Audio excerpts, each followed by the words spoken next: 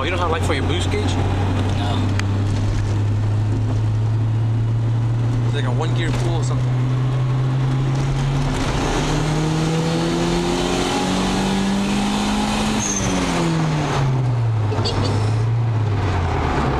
oh, and I also forgot to read the sign, so...